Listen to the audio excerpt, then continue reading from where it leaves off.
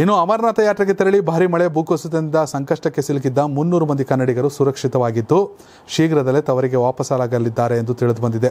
ಜಮ್ಮು ಕಾಶ್ಮೀರದಲ್ಲಿ ಸುರಿದಿರುವ ಭಾರಿ ಮಳೆಯಿಂದಾಗಿ ಗುಡ್ಡ ಕುಸಿತಗೊಂಡು ರಸ್ತೆಗಳು ಹಾಳಾಗಿವೆ. ಹೀಗಾಗಿ ಯಾತ್ರೆಗೆ ತೆರಳುತ್ತಿದ್ದವರು, ವಾಪಸ್ ಬರುತ್ತಿರುವವರು, ಬರುತ್ತಿದ್ದವರು ಸಂಕಷ್ಟಕ್ಕೆ ಸಿಲುಕಿದ್ರು. ಈ ಪೈಕಿ ಮುನ್ನೂರು ಮಂದಿ ಕನ್ನಡಿಗರು ಇದ್ದರು ಎಂದು ಹೇಳಲಾಗ್ತಿತ್ತು.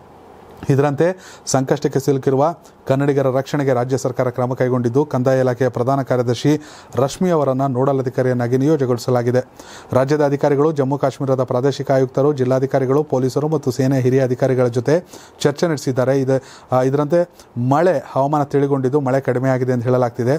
ಇದೀಗ ಒಂದಷ್ಟು ಜನರನ್ನು ಸುರಕ್ಷಿತ ಸ್ಥಳಗಳಿಗೆ ಸ್ಥಳಾಂತರಿಸಲಾಗಿದೆ ಎಂದು ವರದಿ ತಿಳಿದು ಬಂದಿದೆ ಇನ್ನು ಮಳೆ ಕಡಿಮೆ ಆದ ತಕ್ಷಣ ಒಬ್ಬೊಬ್ಬರನ್ನೇ ಕರ್ನಾಟಕಕ್ಕೆ ಕರ್ಕೊಂಬರುವಂಥ ಕೆಲಸ ಆಗುತ್ತೆ. ಬಟ್ ಜೀವ ಎಲ್ಲರದು ಮುಖ್ಯ. ಕರ್ನಾಟಕದವ್ರು ಸುರಕ್ಷಿತರಾಗಿದ್ದಾರೆ ಅನ್ನೋದು ಸಮಾಧಾನದ ಮತ್ತು ಖುಷಿಯ ಸಂಗತಿಯ ಜೊತೆಗೆ ಯಾರ ಪ್ರಾಣಹಾನಿ ಕೂಡ ಆಗಬಾರ್ದು. ದೇವರ ದರ್ಶನಕ್ಕೆ ಹೋಗೋದು ಅಮರನಾಥ ಯಾತ್ರೆ. ಯಾರು ಟ್ರಿಪ್ ಹೋಗೋದಲ್ಲ, ಶೋಕಿಗೆ ಹೋಗೋದಲ್ಲ.